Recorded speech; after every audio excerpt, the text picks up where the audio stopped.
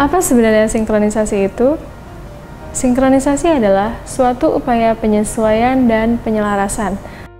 Begitu juga sinkronisasi RPJMD dengan RPJMN sub bidang kesehatan dan gizi masyarakat yang seyogyanya selaras dan sesuai satu sama lain. Penyelarasan tersebut juga memperhatikan kebutuhan dan kondisi masing-masing daerah. Mengapa sinkronisasi ini dilakukan? Sinkronisasi ini dilakukan karena belum adanya upaya sinkronisasi yang jelas antara pemerintah pusat dan pemerintah daerah. Masih banyak permasalahan-permasalahan perencanaan pembangunan kesehatan di Indonesia yang kurang terintegrasi dan sering tidak sinkron, baik dari aspek waktu, masa berlaku, dan status hukum.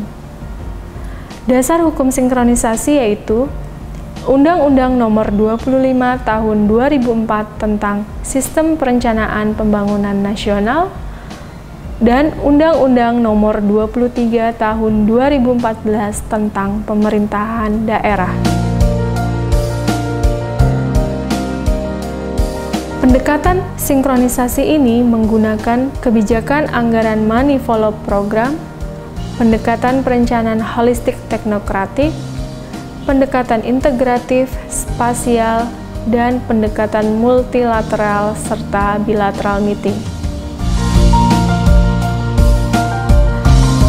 Hal-hal yang disinkronkan antara lain visi dan misi, sasaran, target pembangunan nasional, arah kebijakan dan strategi, sistem penganggaran, tujuan pembangunan kesehatan.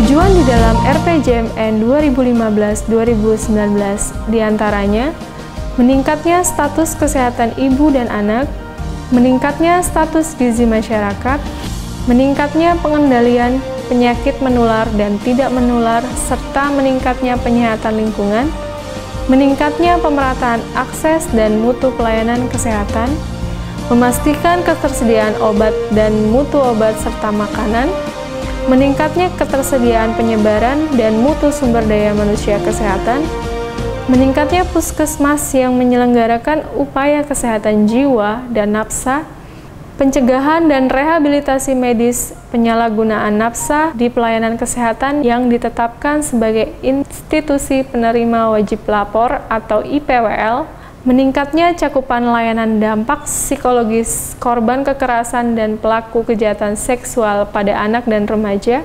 meningkatnya pencegahan dan pengendalian masalah keswa dan nafsa di sekolah PAUD, SD, SMP, SMA, dan yang sederajat.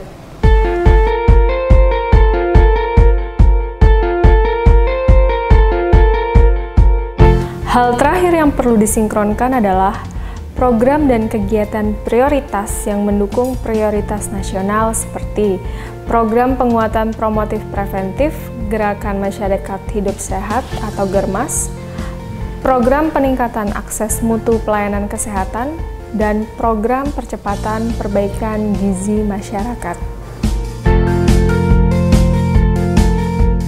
Bagaimana sinkronisasi ini dilakukan? Sinkronisasi dilakukan melalui tahapan-tahapan sinkronisasi. Yang pertama yaitu menganalisis situasi dan masalah kesehatan yang ada di masing-masing daerah. Tahapan yang kedua yaitu mensinkronkan isu-isu strategis yang memperhatikan isu strategis RPJMN dan RPJMD provinsi. Yang ketiga, mensinkronkan misi atau submisi, tujuan, sasaran, dan indikator pembangunan dengan memperhatikan RPJMN dan RPJMD provinsi. Yang keempat, mensinkronkan target berdasarkan sasaran pokok nasional yang ada di dalam RPJMN, namun tetap memperhatikan kemampuan dan kondisi di daerah. Tahapan yang kelima yaitu mensinkronkan arah kebijakan dan strategi dengan memperhatikan prioritas nasional. Tahapan keenam adalah mensinkronkan program dan kegiatan dengan prioritas nasional berdasarkan urusan pemerintahan. Tahapan ketujuh adalah mensinkronkan kerangka pendanaan program dan kegiatan yang mendukung prioritas nasional.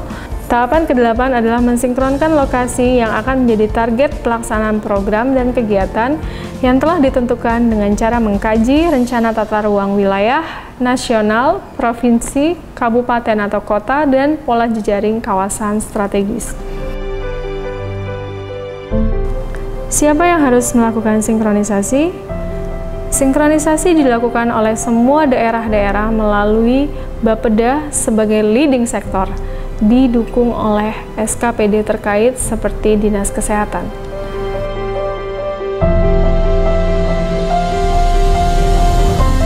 Melalui sinkronisasi ini, ke depannya diharapkan RPJMD sinkron dengan RPJMN sub bidang kesehatan dan gizi masyarakat, sehingga bidang kesehatan nantinya akan terus menjadi prioritas nasional.